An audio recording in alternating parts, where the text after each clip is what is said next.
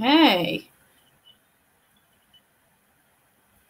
Great, and we are live. I'd like to welcome everyone to the last session of the day. This is going to be a really sort of fun and interactive session, so I'm really, really keen. Um, let's hope that I can stream and use QGIS at the same time without my computer crashing. So um, I will just hand over to Tim, who's going to take us through to our QGIS 3D freestyle session. Woohoo!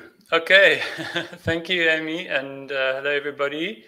Um, this is a like an interactive session where you all invited to participate. So we've got a panel of QGIS nerds present in the room, but just because we're this side of the camera doesn't mean you can't also just participate with us. Um, and um, basically, the format is that we're going to give everybody a data set, the same data set ideally, um, that we've generated using this gen, random DEM generator. And then you can take the, the DEM and do whatever you like. The, the only like preconditions are that you can't bring in existing data. So you've got to create everything from scratch from the DEM, or you can digitize points or lines or whatever on top of it, or you can uh, produce new products using whatever means you want to and analysis tools or you know python whatever you want to do but uh, you can't use something that you've already got like lying on your disk okay? And um, at the end of it the idea is that you produce a picture or a layout or a map or something that's visual and that we will um, share them on the github repo that i've made um, and then we'll have some kind of um, judging panel that will will review the, the what we've submitted, and not just ours, but from the community at large, and uh, come up with a winner. And the winner will get a QGIS coffee cup sponsored by Kartoza. Okay, and it will be um, the beautiful black one with the QGIS logo, and there's a picture of it on the wiki page.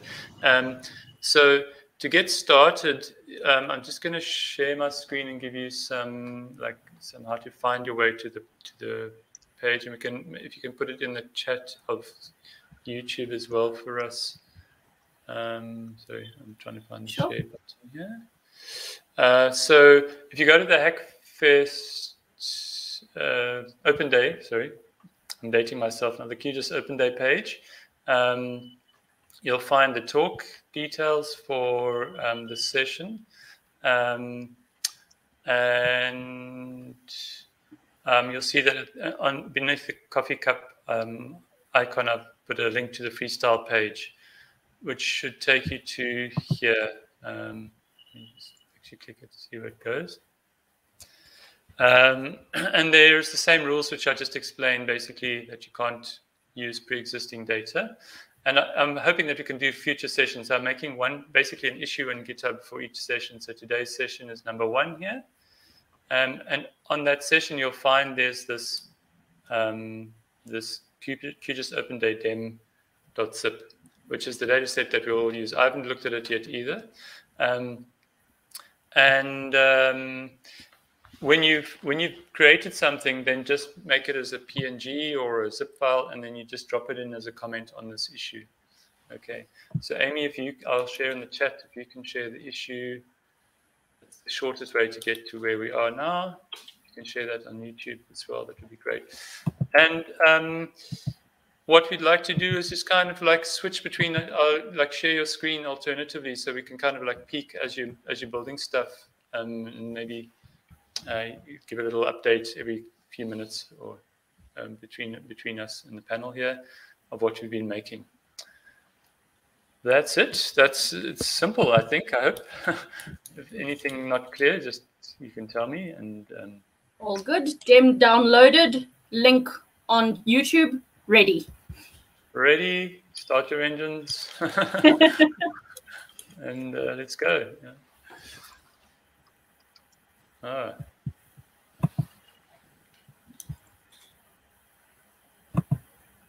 I hope the, the dem looks all right because it looks, oh, there we go. So that's what you're gonna you should you should be starting off with. And it's at, at pixel values in degrees. Sorry. It's in uh, the wonderful EPSG 4326. Um, so, so, so, each pixel is one degree. you can feel free to. That's pretty big. anything you like. Um, or you can reassign the coordinate re reference system. It's it's in fantasy land. It's nowhere. Um, well, I think at this point it might be on another planet. Me like another planet. I could go for the alien thing. yeah. Sorry, Ujaval, I think I cut you off there. Uh, were you saying something else? Yeah, I was just wondering about the CRS. I think a lot of the tools going to break if we don't assign a CRS or reproject it to something. Yeah. So, That's a challenge, yeah? Yeah. I have a solution without projections that should work.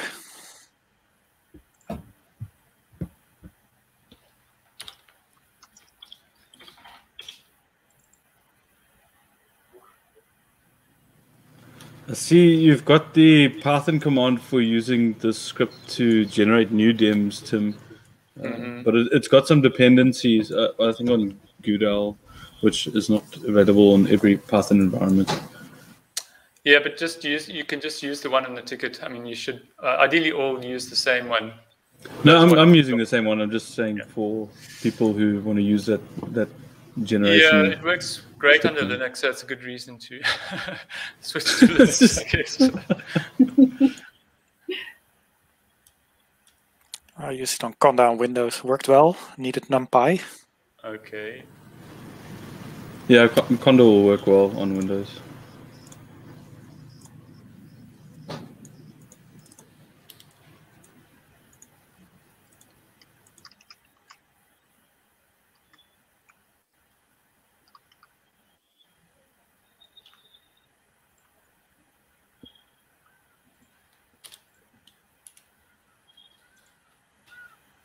Oh, Alrighty.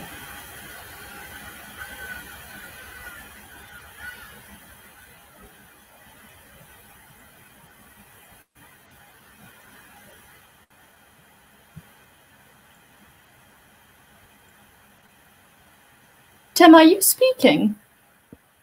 No. Would you like me to? Uh, I was just wondering if you were because I can't hear anything. no, I'm deep in thought, looking at my screen and pondering about my rest and mask polygonization that I'm busy doing.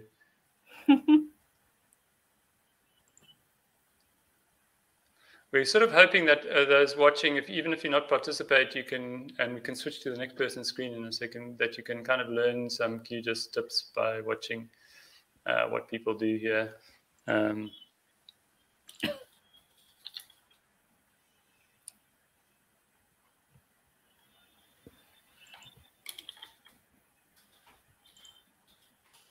somebody's got something interesting to show on their screen, you can just shout and then we can swap this screen sharing over. I don't know if it's possible to all share screens at the same time. That could also be an option. I don't know. Can Jitsi do that? I think YouTube can't handle that because it needs focus on one. Oh, yeah. Oh, yeah. That makes a lot of sense. right. I, I've got something to show. Let me just share the screen. I just will stop here. Um, Go for it.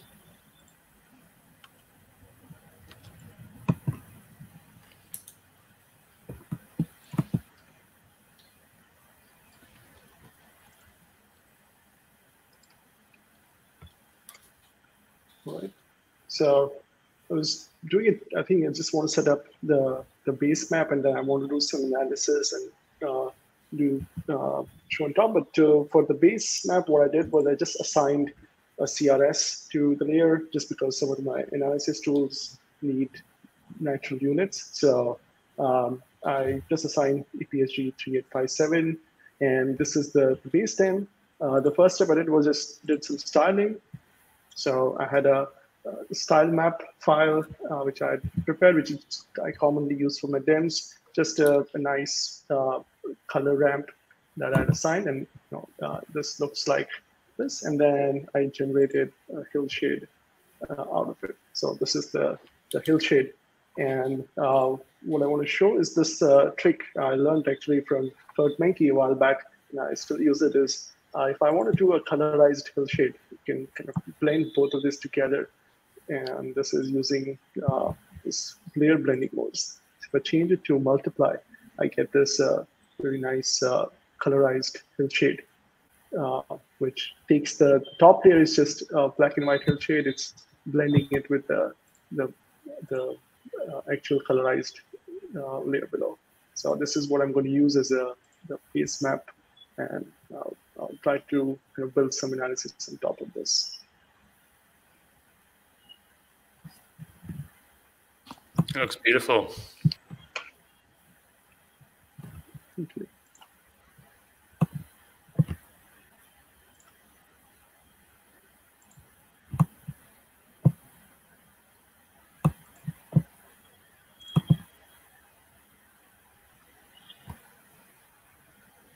that looks really cool. I like it. Thanks.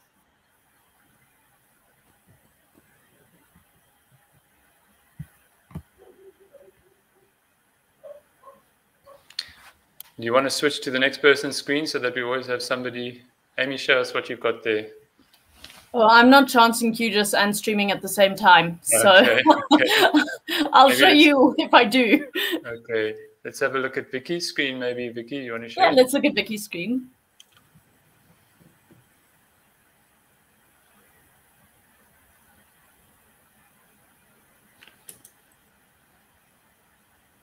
Ooh. So I think I'll start I'll start by just making a symbology for the mountains that I want.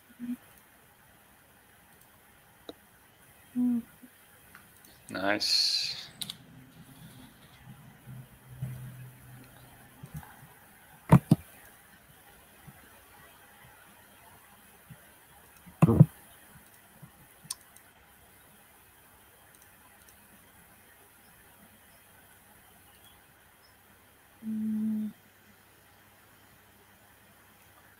What's always important for the hill shade is to to show the uh, resampling uh, settings uh, because they Oh. uh, it can be quite coarse. It's always a little trick there.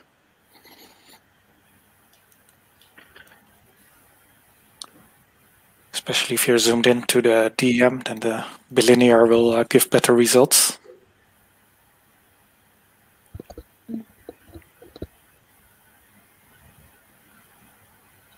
Just a sec.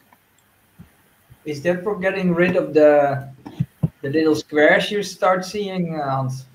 Yes, And where is it? Yeah, the, it's on the screen Oh, that's uh, shared Yeah.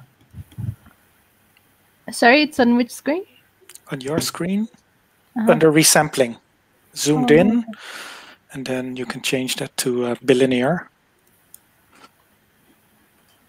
And you see it will smooth. Yeah, you see it more spectacular if you're zoomed in. Oh yeah, it's If very you- Ah. yeah. The little squares are gone. Yeah.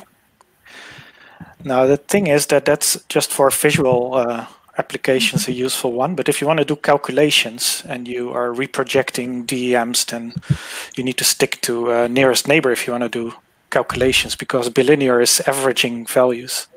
So I don't know if the others have opinions or experiences with that, but that's what I always advise.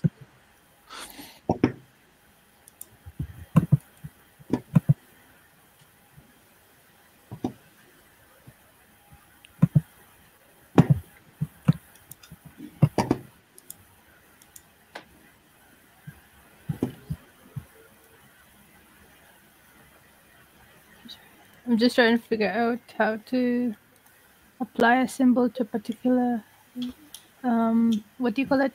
Uh, levels of symbology. Yeah. Oh yeah.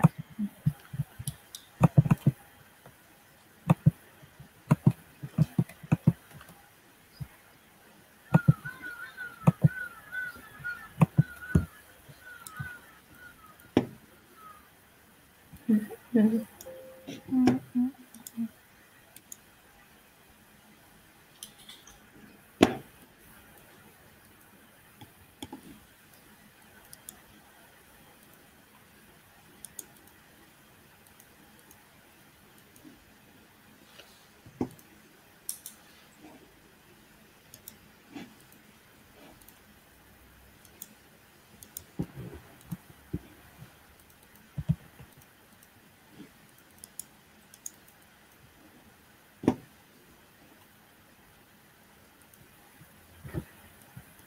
let me move on before someone else should, as they figure something out.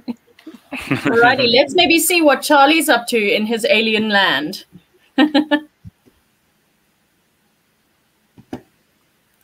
oh, I think he's gone. he ran away when you put his um, name in spotlight.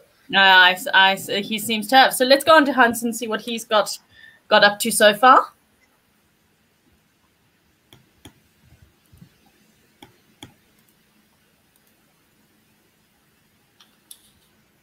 But that looks cool. So what's your goal for this? Well, people know me from uh, hydrological analysis, so that's exactly what I'm doing and proving how robust these tools are. That even if you give some random generated DEM, that it will work. And what I'm using is these uh, new uh, PC raster tools integrated in uh, QGIS. By the way, we are uh, going ahead with having a processing provider plugin of PC raster uh, ready soon. Nyall Dawson is uh, working on it, so you'll hear more about that. But meanwhile, in um, one of the last uh, uh open day sessions, I've presented uh, how to get all these PC raster tools here. And what I did was convert the DEM to the PC raster format because that is something that's uh, needed. It's a GDAL format, so that's quite easy and fast. And then I used LDD create. That is here. Basically, that is filling all the sinks in this uh, DEM because any DEM that you uh, receive, uh, in what way it has been uh, um, acquired doesn't matter, but for hydrological purposes, you need to get rid of uh, artificial depressions. Um, so that's what I uh, I did here. So you need to to put the, the DEM there. And then um, there are many more settings than in other tools uh, that were available. So you can control quite a bit how it's filling uh, the DEM. After that, I want to have the rivers. So I calculated the Strahler orders in PC Raster. That is the uh, stream order tool.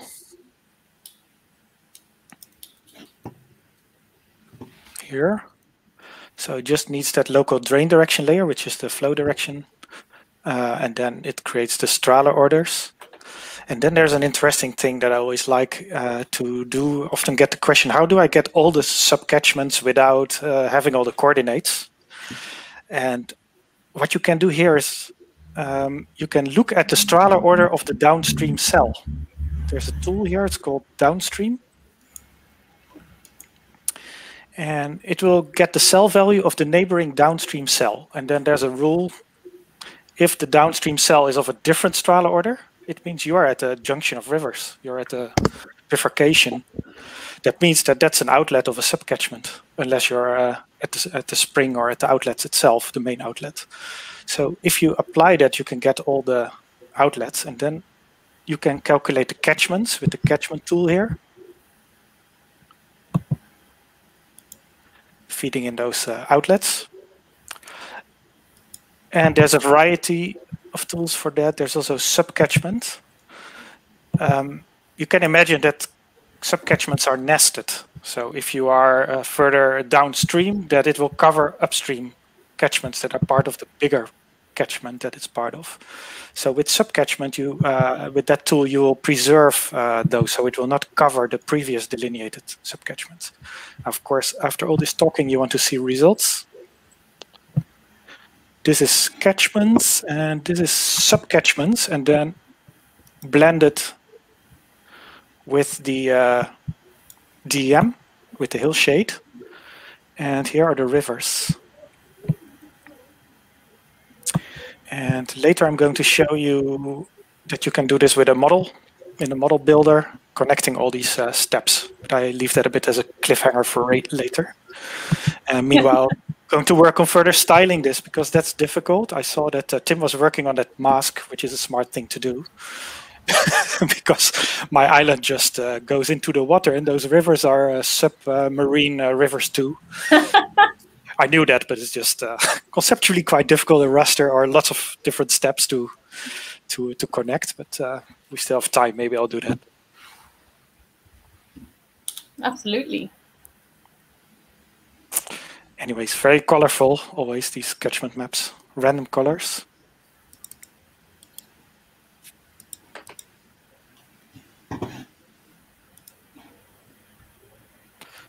And here you see the Strahlers. Let me switch off. And I can style that with paletted unique values um, to select the correct one.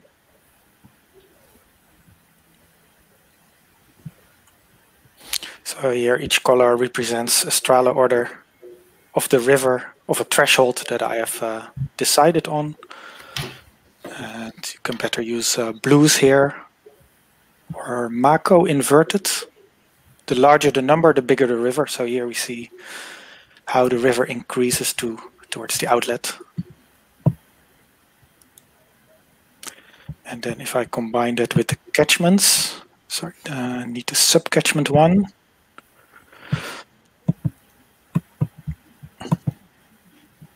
Then you can see that each reach has its own subcatchment here.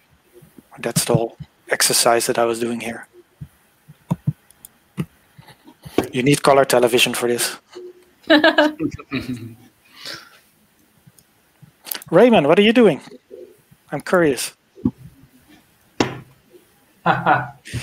Are you Yeah. producing chocolate already of, of your DEM? Yeah, yeah, yeah. That was that should be my goal. Yeah. No, no. Yeah, I could. I think make a chocolate for for, for this, but um, I thought I'd make a sewer system because I learned that earlier today. So I thought I have to come up with something new here. but um, uh, I didn't really manage to uh, to do that. But I wanted to to try the the plugin from Brazil we saw earlier today in the in the session. Um, but I haven't even installed it yet, so I'm almost there now. And to be So what you're I- saying basically, Raymond, is when you discover an uninhabited island, the first thing you would do is install the sewer network before, before Yeah, everybody yes. because there is uh, two million people living on that island, and they like uh, drinking water, and uh, yeah. All right, there are a couple of questions coming in. So um, Leonardo from earlier asks Hans, the analysis done in PC raster tools don't need a coordinate system to configure in meters to work? Question mark. Well, it does, but this was my advantage here. Uh, I, I saw uh, how Ujaval solved it by uh, creating an artificial uh, projection. Uh, PC Raster doesn't keep track of the projections. It just doesn't do anything with it. But of course, all these tools, also Saga and Grass, they assume that your X and Y coordinates are in the same units as the Z. So if you calculate the slope, the function will uh, calculate the uh, steepest slope in a 3 by 3 window, but it assumes that the z is in the same unit as the x and y. So if you use a geographic coordinate system, then your x and y will be in uh, degrees and your z in meters probably, and then it will calculate uh, the slope in the wrong way. But it doesn't tell you, it will still calculate, and you probably even end up with a beautiful map, but it doesn't make any sense. So my advantage here was uh, PC Raster uh, puts all these question marks at the in QGIS at the, the CRS, and which is great. I can just continue without bothering about it. Alrighty, and then next, um, Ban Kasim is a new member or new to QGIS, so welcome to the community, yay! Um, but he asks, are these tools to calculate the catchment in QGIS? Um, and can they can you use it to make catchment maps? Yes, you can. This is all QGIS. So, um, but um, well, maybe a little bit of uh, of history there. The uh, um, there are GRASS tools and there are Saga tools that come with QGIS at the moment. Uh, but this might change in, in the future, and there are already changes happening which uh, break a few of the catchment delineation functions, and you need to have uh, the old dependencies, or you need to tweak the description files of uh, of Saga, for example. Uh, so, but it's very likely that these will move out of the, the core uh, of the processing toolbox, but you can add them later as a processing provider tool. And therefore, it makes perfectly sense that also other tools are uh, developed like that, such as the PC raster tool. Instead of packaging it with QGIS, that you can simply install it as a processing provider, like you can also do for R. And then, uh, yeah, the sky's the limit. It's just this whole Lego box of different tools from different providers that you can uh, connect. All right, great stuff. Um, I'm just checking if there are any more comments. Hello, Jonathan from Panama. Um, yeah, let's continue and maybe check in with Ujaval again if you've gotten any further.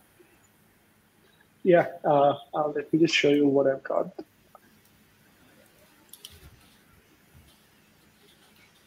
And Tim's up next, so start planning your great reveal.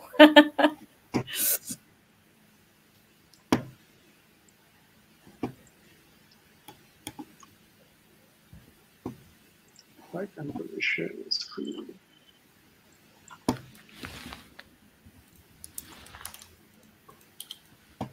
Oh, wow.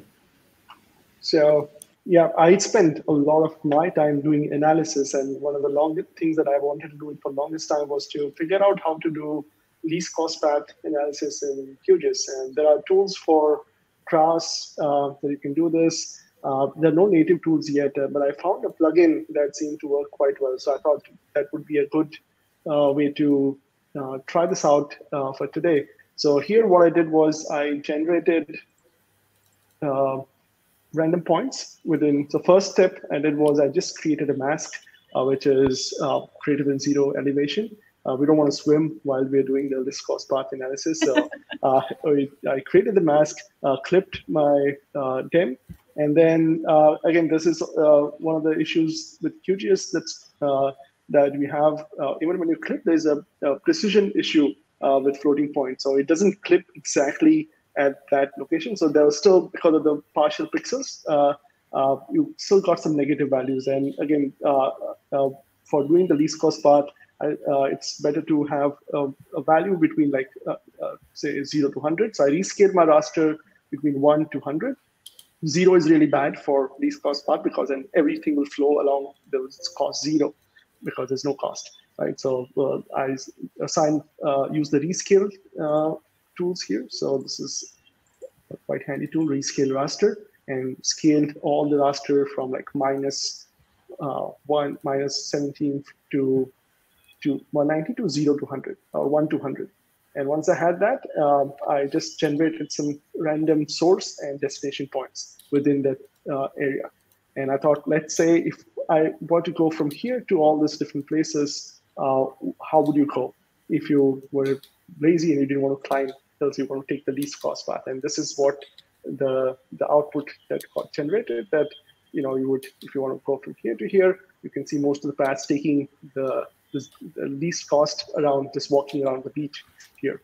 And then you climbing up in a straight line, which is the, the least cost path uh, for here. So this is what I've got so far. And I'm going to keep tweaking this and then I'm going to create, visualize this in 3D. That's the next step. Alrighty, cool. So um, BG asks they like your interface and how can you change it to gray? I'm assuming to change it to dark mode so that you can do in the settings. Um, and then the next comment is that they can't really see um, with the contrast of the dark mode your icons, etc. That. yeah, I'm on a Mac, so this is the QGIS Mac interface. Mm. It's not dark mode. I think the, this is the default one. So. Oh, okay, cool. So that's what Mac looks like.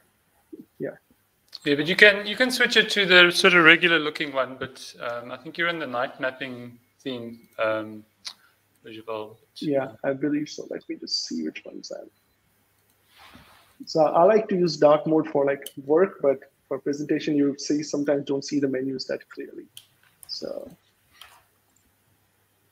all right. Uh, this cool. is a blend of gray. This is the uh, uh. another UI uh, theme. Hmm. So cool. Cool. There's one question um, for you, Hans. Um, it's from Shabir B. um, how do or how to how do you overcome stream channel breaks caused by glaciers? uh, global warming.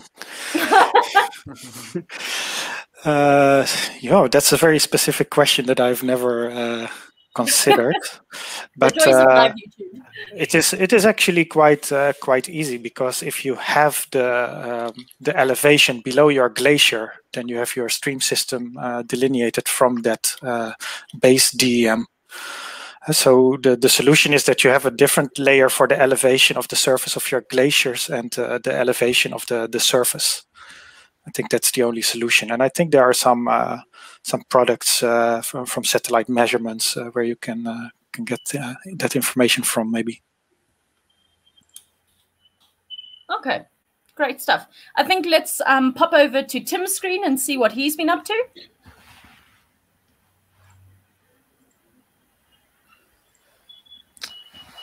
There we go.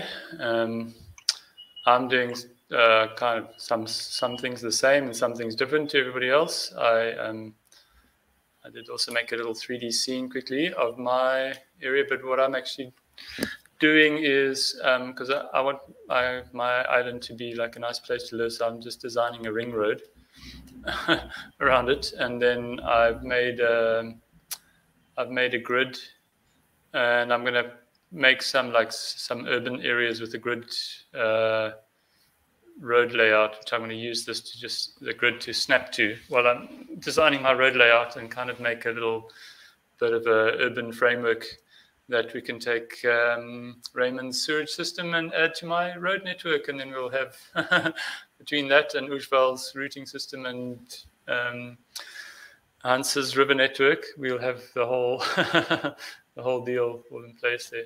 So I was about to just uh, go and like uh, edit my road layer here and just make a form because I want to um, I want to capture the data in a consistent way. If I was I had a bit more time, I would make something a bit more fancy. But I'm going to just do like a quick and dirty form um, using the drag and drop form designer to kind of have some uh, uh, controlled vocabulary of what people type into the form, or people being myself at this point. Um,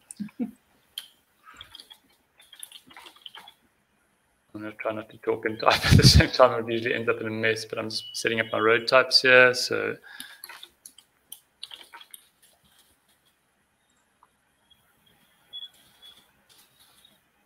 I'm kind of giving them a like a human facing side on the description and uh, computer a, a name for the computer to work with on the other side.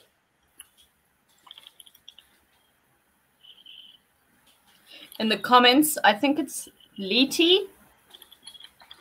My my South African eye wants to say it Letty. um, uh, complains that there's no archaeology, sad face, ah. and ahoy from in Slovakia. Um, but you're just going to have to make the archaeology DEM. That's the point of freestyling. yeah, exactly. Just uh, get busy. I think we should make this an alien world where there's some alien archaeology. That would be cool. One tip maybe you can see on the form is I'm just using this now function of QGIS so that every every road I add gets a timestamp, um, and uh, which is a nice way to just make sure that you can keep a, like a history of when things happen on your map. We mm. can, I'm planning to use the history later to make some fun visualizations as well.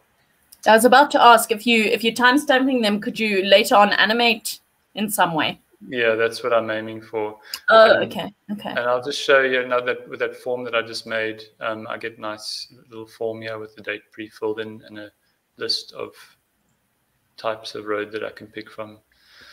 So next, my plan is to start digitizing some city network. I'm just trying to decide where the best place to put a city is, or not a city, a town. Probably the island's not big enough for a city, but um,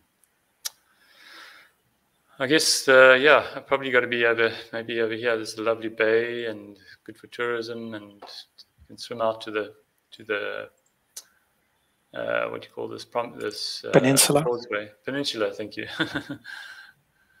so Oh, Leti is Tibor's um, screen name. Hi, Tibor. Nice to hear from you. You should have been in the room. You could have shown us all the archaeology. it's not too late. You can come and join us. Yeah, absolutely.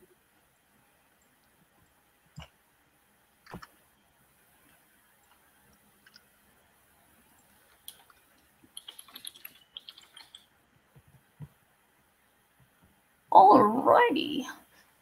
What are you doing there now, Tim? I'm just uh, I took the the con I generated contours for the island, and then I'm taking the like the first one at about five meters and using that as the as the line for the ring road. Because if you're an engineer uh, and you're building a road network, it's nice to I speak like a like a seasoned engineer, which I'm not. It's nice to um, it's nice to build your road network on a kind of a flat um, basis so that you don't uh, have to, you know, blast away the mountainside as you're trying to tunnel through it or uh, what have you. So um, that's, that's the ring road. I'm going to set up some cartography rules after I've got a few roads, and then I'm going to start my residential network here with a bit of digitizing.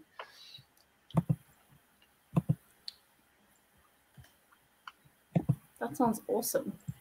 I think um, perhaps we should pop over to Victoria and see what she's up to.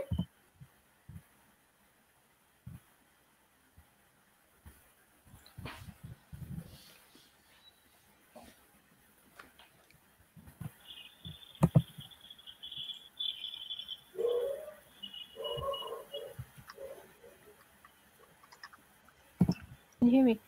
Oh yeah. I hear you. I'm making a, a fantasy map over the DEM. So I'm just using um, the raster calculator to make masks for um, specific sections. Like I've done sort of where the the mount I think the mountain should be. So now I want the to put up where I think the level of forests should be. Using a lot of the histogram to figure out where things are.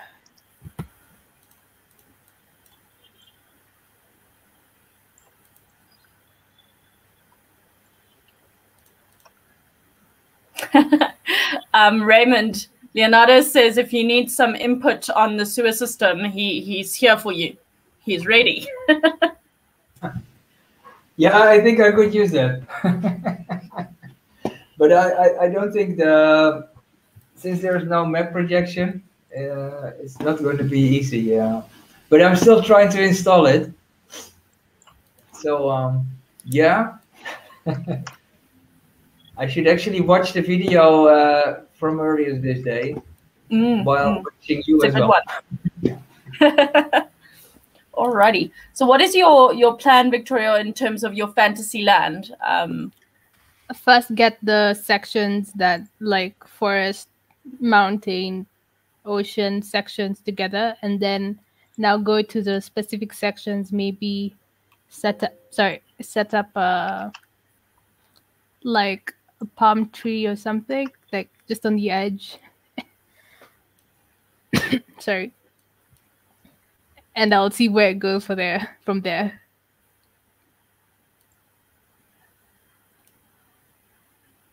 Alrighty, that sounds very, very cool. Uh, you showed us how to make little um, trees and boxes for our imaginary game world. So now this is going to be our imaginary game world.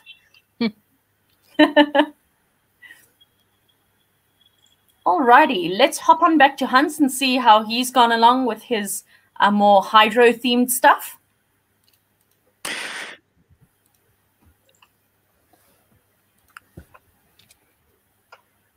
So here um, I've been working on two things, putting the other tricks in the model and calculating um, yeah, the, the path from the top of the mountain to uh, to the edge of the DEM.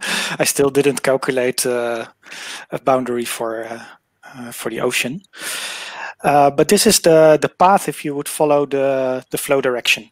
So from the highest point, now, how do you find the highest point? There's some nice tools here to do that. There is a map maximum. So use your uh, DEM and then it will output map maximum. Probably have it somewhere here. I've probably called this highest point. So it's a global GIS operation which will fill each pixel with that value of the highest point. So if you query that, uh, wrong layer here. It's this number here, 193.7.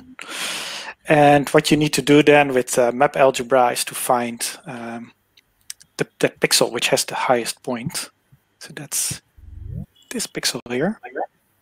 I will remove the path. So that's that's the highest point in pixels sorry, I'm a pixel person. There's probably some higher point inside, or just the average elevation of the pixel. And then there's the, the path tool. this one, where you put the uh, flow direction map, LDD, and that uh, highest point, the highest pixel, so not the one that has everything. And then it will calculate uh, the path, that's then that uh, red line, Here, this one. And it follows the flow direction. So if you need a swim after climbing the, the top, then uh, that this is probably your fastest way down. um, if we're if we're still waiting for the others to make roads and other nice stops uh, on the way and visiting uh, archaeological places. The other... how you? I see you popped into our room. Welcome. Hi, Timur. Thanks. Hi, everybody. So maybe we can have a look at the model that I was building, if I can find it. Yeah, that would be great. So here, because then you see a bit of that process of what I've er shown earlier. Oh, wow. So yeah, it's a big one. Yeah. I've done similar things before, so I adjusted uh, on some details. Yeah, I'm assuming you didn't build this in the last no. um, 20 minutes. I'd be incredibly impressed if you had. No, no, no. I'm cheating a little bit with that, but the regulation said don't use data from others. But there are perks to being Hans van der Kwast. Okay, okay. so uh, yeah, here's the input digital elevation model, the one that uh, that Tim had uh, generated, and then a minimum Strahler order to determine your uh, what you consider as rivers. Mm -hmm. The digital elevation model is converted from TIFF to the PC raster format. Then this uh, flow direction is calculated, and then we can calculate the Strahler orders and uh, then we need the Strahler orders uh, from a certain threshold. So that's that value that you put in here, but we can only work with spatial. So this function makes it spatial. And because it's Strahler orders, it's an ordinal scale. So there we get it out of it. And then um, with the if then function, we can create uh, a Boolean out of that. And here we um, we can check the Strahler order one pixel downstream. And that's how we can find the junctions because it should not be the same. It should be different from the one that it was. So I use the not equal operator. Um, then all those points need a unique ID because I want to see different uh, numbers for this for the catchments that we get out of that. Uh, let me see how to pen that unique ID function um, produces uh, a nominal uh, or scalar layer, but a scalar, which means it's uh, it's continuous and it shouldn't be. It should be classes. So here we convert it to nominal, and then I need to add zeros in the map. That's what cover does, and then um, then I finally can calculate catchment and subcatchment, and that's then reported so long story, but uh, this is uh, this will be shared. Um, I think part of it is already in the um, resource sharing plugin. Under if you have added the the repository of PC raster, then there is a model section there, model collection, and there you'll find it if you install the PC raster model collection. And these are these three models. Oh wow! Okay, cool. That's and yeah, this this proves it's robust enough to to feed a random DEM diff to it, and it will produce yeah. your rivers and catchments. Well, that's really really great to know. Um, Tibor, have you been following along? Do you have any cool DEM to show us? uh, yes, somehow. Awesome, show us. okay, so it is as usual about the visualization for archaeology. I mm -hmm. have to somehow share the screen. Uh, give me half hour. Uh, Bottom of the screen, third from the left, the little screen with an arrow in it. Okay, so I will try. Okay, probably you can see my screen. Yes. Yes. So I'm usually producing this kind of visualization for the archaeology, where you can see the multiple values like the curvature of the digital elevation model, the slope, the openness to the sky. Usually I'm trying to uh, divide those uh, two filters to two parts. One I call the contrast. Second is called the curvature, but by different way. And okay, I have the problem with CRS. And the result is usually a combination of really nice, also I believe that open source software, it is called raster visualization toolbox. It was uh, produced by university in Slovenia. And they have really nice tools. And these tools also work like the plugin for the QGIS. Uh, the plugin uh, uh I tested, uh, I think, one week ago only disadvantage what I see of the plugin is that it doesn't use uh, approach, and this standalone tool use it. Then I'm uh, trying to stack those layers uh, with different kind of blend modes. Uh, you were talking about the multiply. Many times I'm using the things like uh, I don't know multiply, darkness, normal, and so and so.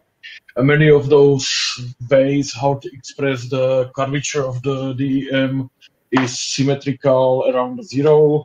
And unfortunately, I'm a little bit stuck in the, not in the CRS, but what is on and off. So here is the part for the curvature. It is based on uh, simple local relief model, but simple local relief model is also known in the, for instance, in the WhiteboxTools like deviation from the mean elevation of model. Then something like local dominance. It is really complicated way how to express the the curvature of the digital elevation model. And then for the contrast, I'm using the combination of sky view factor. Uh, it is the how, how you are when you are lying on the ground and you are trying to observe the sky, that how much of angle you can see it, and I'm trying to combine uh, combine it with the slope, and I'm trying to use the trick that, uh, for instance, yellow color and uh, green color of slope producing the orange color, blue color and red color producing the violet color and somehow when I mix it together, the result is like this one. And then for this, I'm using the map to raster. I really like these tools. I think it is in the raster tools. Convert map to raster. That's the really nice way how you can mix and blend all layer together to one layer. And uh, what I see as a big advantages of new formats is that usually by GDAL I'm trying to convert it to the cloud optimized GeoTIFF uh, because uh, cloud optimized GeoTIFF, okay, the original purpose is to put it on the web and you can download it from the web. But cloud optimized GeoTIFF have the nice internal structure of the tiles and overviews. So cloud optimized GeoTIFFs are really fast on the even on the super slow and super weak computers. So this is the way how I'm producing those things. I upload, I think, to the comment on the GitHub the example of this result, and you can play with it, and you will see. That's but, so brilliant. I love this. It's very, very interesting. I like to see the archaeology um, application. I think we're going to hop over to Ujaval, and we'll come back to you at the end and see what you've been coming up with. This is brilliant. okay, but I I have to say to goodbye to everybody because tomorrow I'm moving to the excavation in Egypt, so I have to prepare myself. But when I oh, saw wow. so nice topic, so it was really nice to meet you. Oh, always good. Thanks, Tibor, and enjoy the excavation. Thank you. Good luck, Tibor. Yeah, I love how the, the blend modes and combining different outputs into a single image can actually bring out so much detail. So that's really yeah, cool. it's a fantastic. Right. Uh, so I have uh, remember my 2D output that I had generated in QGIS. We had a DEM and some vscos part, and I used the excellent QGIS to 3JS plugin to export that map to uh, a web interactive web map. And here's uh, we have the map, uh, the same map that was in 2D. Now it's in a browser running in 3D. Uh, we have the source point in this nice green cone and the destination points here. And you can now visualize uh, this data on uh, how the least cost path flows. And this is also a really nice way to validate the data. I always like to validate my analysis and say, did this algorithm did the right thing? And you can kind of see that, yeah, if you want to go from this point to here, uh, it's best to just climb down here and walk along the beach uh, or, uh, you know, so on. So I think this is a great way to visualize and also uh, see the, the really nice 3D DEM in action. And just wow. a few. Uh, so cool. Yeah. Thank you.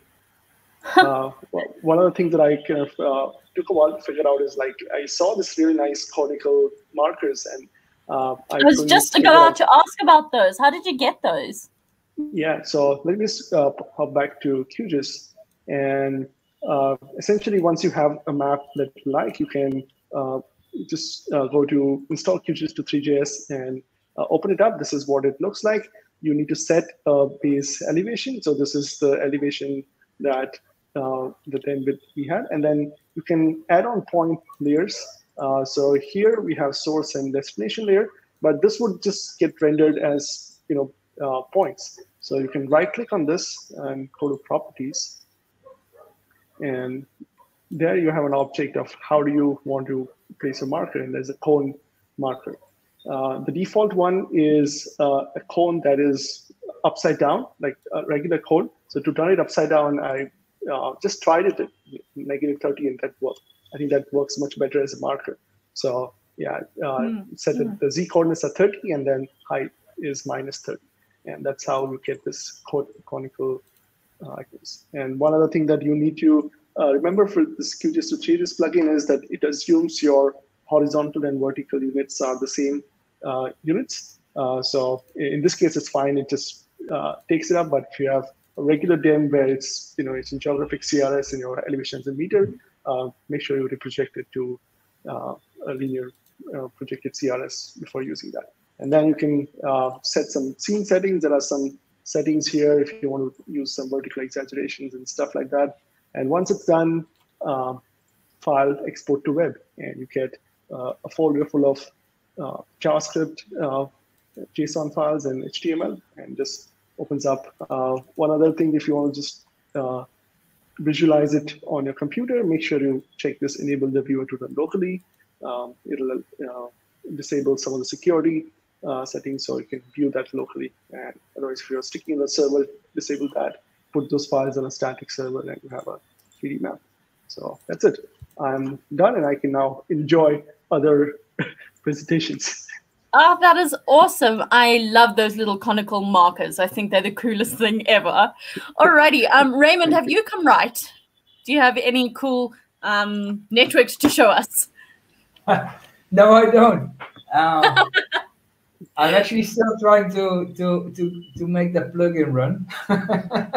That's all right. We will then come I back. I think I will manage before uh, the weekend uh, to have any uh, sewer system for these uh, poor people. but, uh, no, I enjoyed watching uh, what you were doing, and uh, I think you're way better than I am in the, doing this kind of raster analysis. I think so.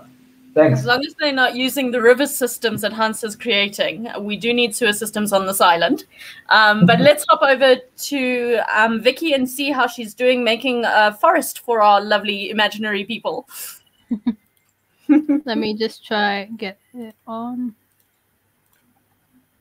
Um, just while Victoria's is sharing, um, Ban Kasim, who is new, um, just wanted to ask. Obviously, you guys are all QGIS gurus, but as a beginner, how should he start with QGIS? Sort of, what is the best websites? I know you guys sort of know the best places to go. I have a couple of ideas um, that I will put into the comments. But you know, as an absolute new user, where should he go and what should he do?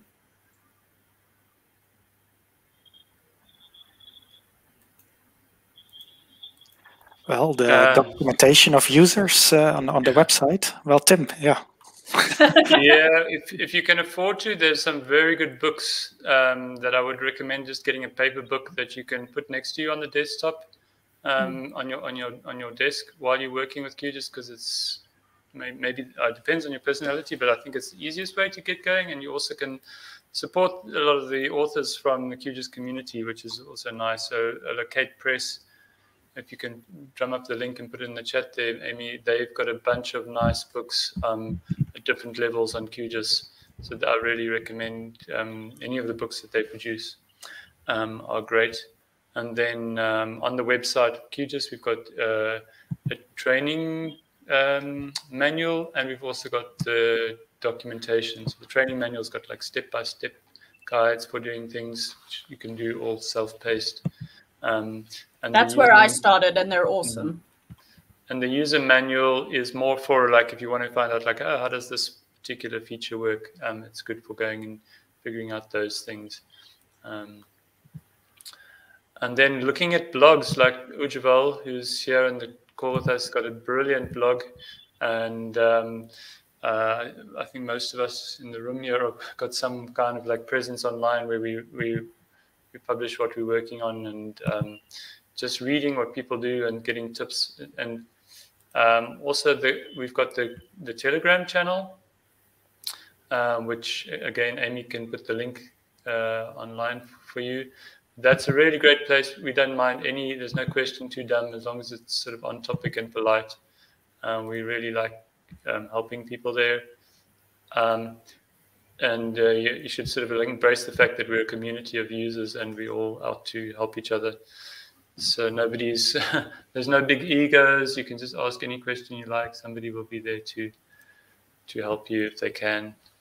Um, and uh, if you do ask a question, they just be patient. You know, somebody, maybe people are busy, but, you know, just ask again nicely if nobody heard your question sooner or later somebody will try to help you. Uh, and also another good thing to mention is if you are asking for help, just try to put your question clearly and so that we get, got enough information to understand what it is you're trying to do. Share the sample data if you have it, or um, you know, just make give us enough information to help you. And then the best thing to do is just do what we're doing now in this session. Just get QGIS open and start to play and see if you can make it do things. And um, it's nice to learn software out of the pressure of a client wanting something or your boss wanting mm. something. I think every QGIS user who's gotten addicted has a highly over-engineered map. I know Tim has one of his farm that is amazing. I have one of birds and bird sightings and on my phone and on QGIS that I'm building. So I think every QGIS user who started starts from a really small map that they just then engineer with every new tool that they learn. So that's a really, really great thing to do for yourself. And then upside, at the end of the day, you'll have something in your portfolio that you can show as, hey, this, these are the cool tools I can use um, in QGIS, etc. So I see Victoria, you're up to something. What are you doing?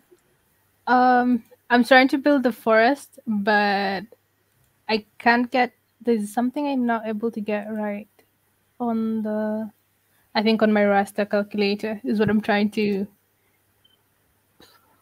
mess around with just to see what happens.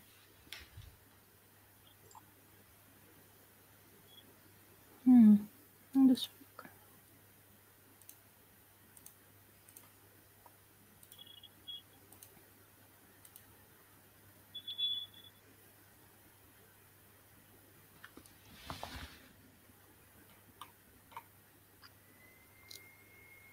what I was trying to do is get the values in the middle of the range that I picked, but that doesn't seem to be working.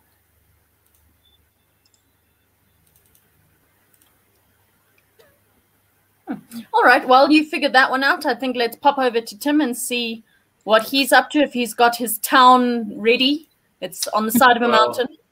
I'm all over the map, as they say, because I've just been uh, um, digitizing. I'm using some of the nice uh, digitizing tools to kind of trace along. You can see it sort of, oopsie, that one didn't. Um, to trace along the um, coastline and make, I'm just demarcating different land use areas here.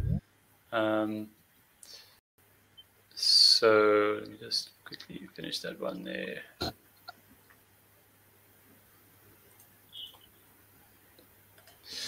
Uh, so I've, I've, made another little form um, and um, I'm busy digitizing different land cover classes. my town, I've got it's. Uh, I this down a level here. Um, I only digitized six roads so far. I um, tend to have a short attention span, so if digitizing roads gets too too boring, then I jump to the next thing. And um, but what I did, what that's interesting in the roads, maybe for those who are interested in the sort of cartography techniques in QGIS, is that um, I use some capping styles. You can see my roads have got round endings, and I use this more advanced thing called symbol levels in QGIS. You can find it if you um, uh, in the styling panel in this option here, symbol levels. Um, and what they do is basically prevent different parts of the symbology overlaying on top of each other.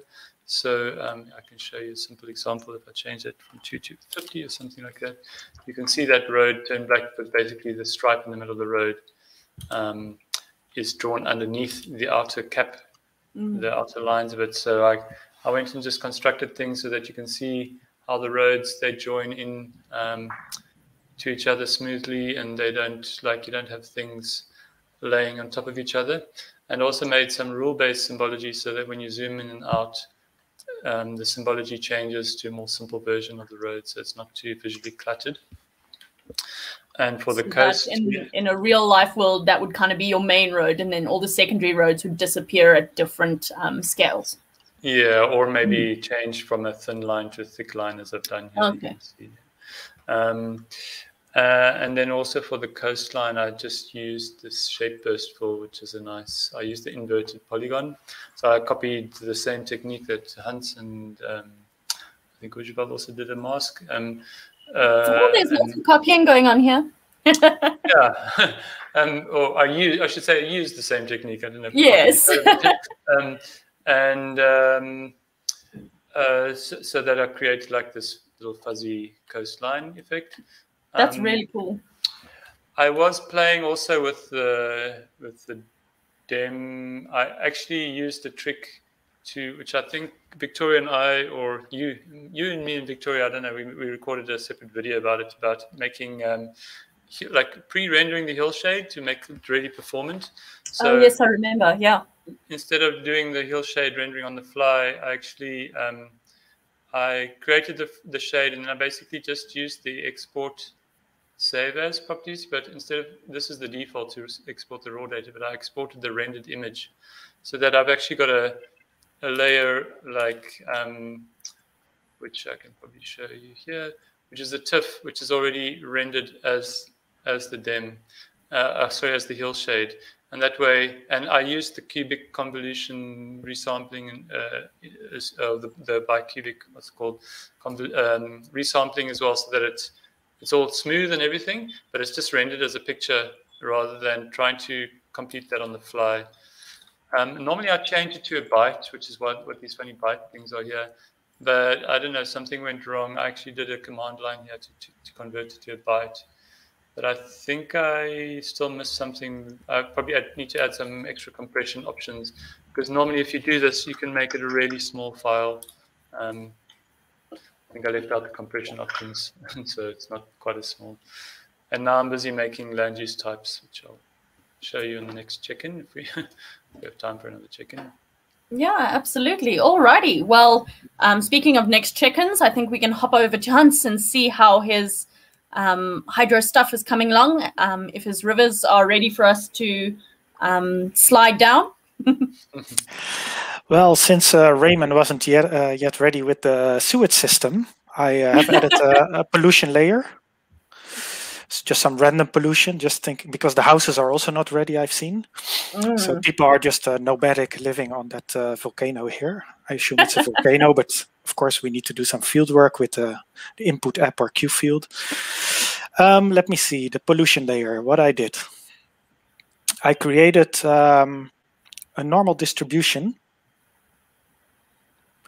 and you can do that with the normal function.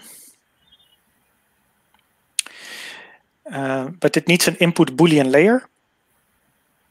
So that means a layer which has only zeros and ones. So I filled the whole DEM with ones. And that's what you can do with the spatial function here. I give here a value one. I say it's Boolean. So these are the data types that PCRaster is quite strict on. And then uh, a mask, I, I choose the, the DEM, and then it will generate just a, a raster uh, of the same dimensions with the value that I chose here in that data type.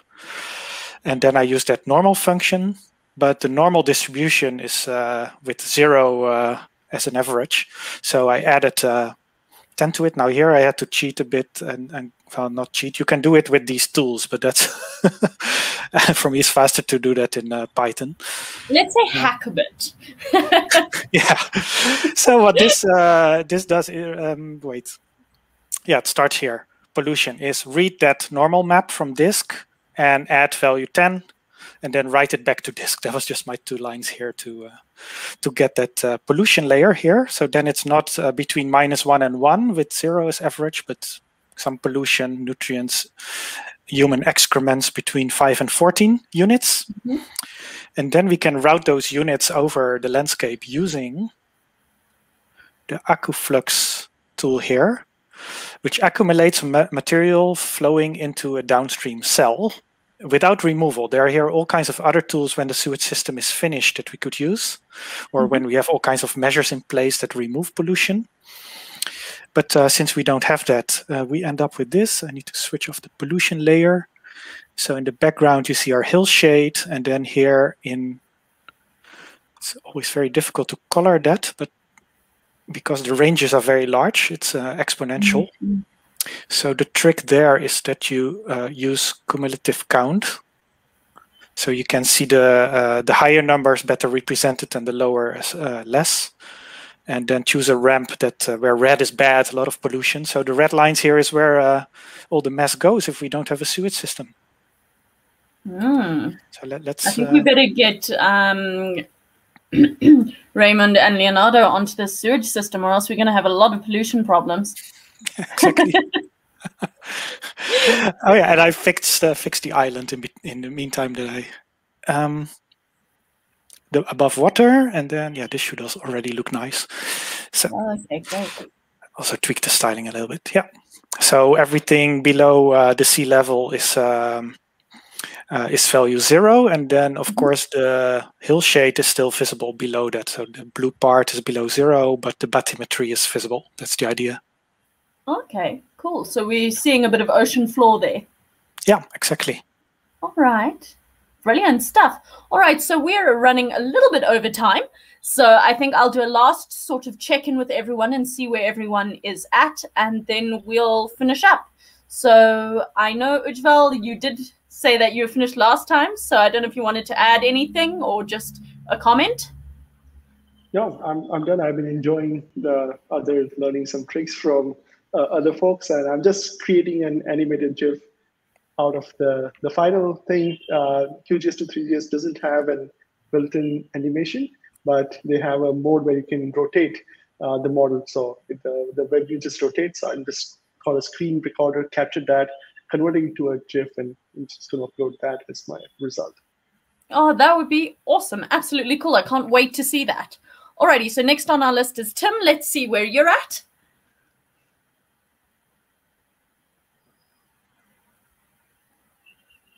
Uh, not too much further. I was just busy making a, a label, so maybe I'll quickly show you a labels layer to put some um, uh, kind of nice Context. labels in the in the sea here. So I was about to just do something like this with the um, oopsie. Um, just digitize the curve here, uh, like this and then we're going to call this um, QGIS Ocean. I don't know, not very original, but anyway, that's.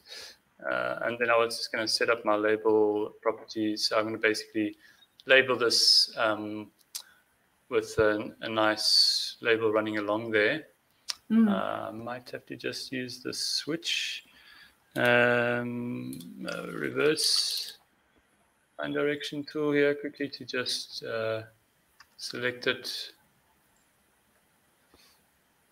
This is just a little trick. If you if you type in this corner here, you get like a quick search for all sorts of functions and data in QGIS, and some of them will operate on selected features. So I'm just going to reverse the line direction of this um, line, and then uh, okay, it's it's done it, but you can't really see a difference yet. And then I was just going to make my label curve nicely along that line by telling it to go here curved and uh, maybe to just pump up that size a bit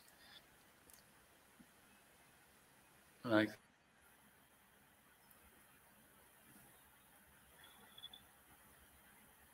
Oh, Tim, we lost you. Well, at least we lost your screen. uh, my screen is uh, okay. I'll just stop and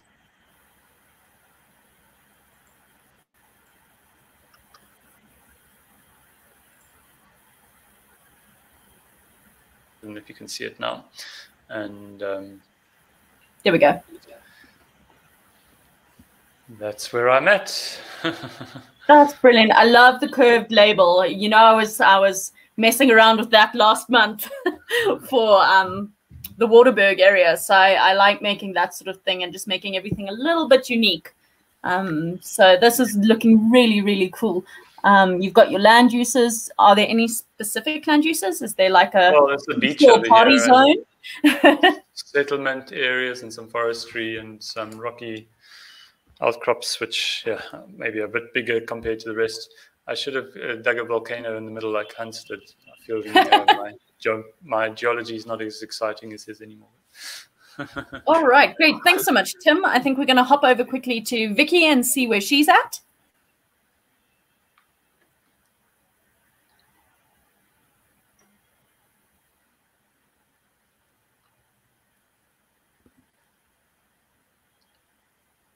Oh, this is looking cool. Um, Vicky, you're on mute. Ah, there you uh, are. So I finally got the forest working. Now I just got um, this. You can see on the side a paper, sort of paper texture that I I got it from a uh, one of this QGIS templates. I can't really find it in all my tabs right now, but I want to just sort of throw it over to give it a sort an old old map sort of feel. I'm just test that out for a second. So this is what I the paper texture sort of looks like. Now I just want to layer it softly over the over my features. Hopefully that works in a few minutes. All right, brilliant. Uh, hello, Edson from Tanzania, who's commenting in the comments. No, this is looking absolutely fantastic. I like the idea of making look at sort of old worldy. I think it's really cool to have your own sort of unique mark on a map um, and using an already made um, QGIS style, especially using the QGIS styles repository, um, if you are a new user, um, Ban Kasim, do definitely have a look at that. Um, it's on the QGIS website. I did share a link at some point. Um, so do have a look at that because that's got a really, a lot of really cool sort of pre-made um, styling that you can use in your own projects. Um, and then I think that's everyone, unless Raymond has some comment for, uh, for us. Uh, yes, uh, just a little progress. So I'll share oh, my. Brilliant. Screen. Show us. we may no longer need the pollution map. uh-huh. Hope so. so it's, just, it's, just, a little thing. Is that I um I managed to get the plugin up and running. Oh, you brilliant! there. but whatever button I press uh, is not really. Uh, doing a lot. I tried a few things, and here's a, a, a pre-one thing now suddenly, and I don't know why. I really cannot reproduce what I saw earlier today, but um, at least there's some uh, something to to show. I'm sorry, it's just that. It's a start. No, that's great. It's very, very cool. And thanks to um, Leonardo for helping along and being support for the, our sewage system for our little alien world. Um, and yeah, I think we're about 15 minutes over. So unless there are any other comments from our amazing team. Mm, uh, just maybe from me to say that if you, all those that participated both here in the Jitsi room, also um, following along online, if you attach them to that link, which uh, Amy has hopefully put in the description of the of the stream, um, maybe we'll wait till tomorrow and then we'll see what what's coming by tomorrow, and then we'll have some highly democratic uh, process to elect the winner. I'm not sure what that's going to be. well we'll vote on them somehow and uh, send you a nice coffee mug. Are Thanks. those just the GitHub links, Tim? Uh, the one to the GitHub issue one, yeah, that's yeah, yeah, that's at the top of the chat. So yeah. just if you are submitting, scroll up. Also, please put your working pictures or um, I know Ujaval is going to have a really cool moving 3D video for us. Um, please do put it on the Telegram channel so that we can all comment and have a look at those. And thanks from me for everybody who joined. I hope you all had fun. I had a good time. It was great fun. and learned a lot. Thanks for the idea, Tim, and you know, thanks for hosting me. I think it was a lot of fun. This all right. Soon, yeah. Oh, hopefully, we'll have another one of these soon.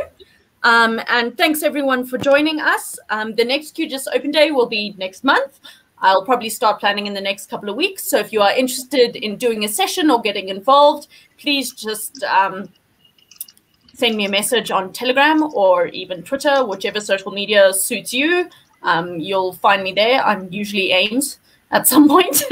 so please do check us out. All my info or contact information is on the wiki pages. So I just want to say thank you to our amazing team of QGIS wizards. Um, we always learn something new from each other and from you. So thank you so much for taking part in our little freestyle session. And that is the end of this month's QGIS Open Day. Thank you all for joining. Rock on. Thank you. Bye. everyone.